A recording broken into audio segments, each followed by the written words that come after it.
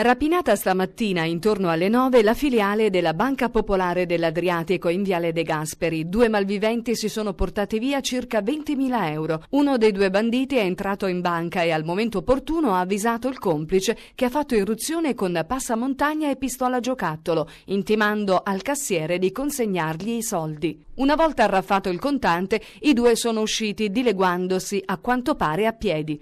È probabile che da qualche parte non lontana avessero un terzo complice che li aspettava a bordo di un'auto. Poco dopo è scattato l'allarme, sul posto sono arrivati agenti del commissariato di San Benedetto e alcune pattuglie dei carabinieri. Gli investigatori hanno avviato subito le indagini, acquisendo alcuni filmati delle telecamere e sentendo le testimonianze degli impiegati. A fare il sopralluogo all'interno della filiale della banca rapinata anche gli agenti della scientifica della polizia, che hanno cercato di raccogliere quanti più elementi possibili per poter arrivare alla individuazione dei due banditi di cui si sono perse le tracce.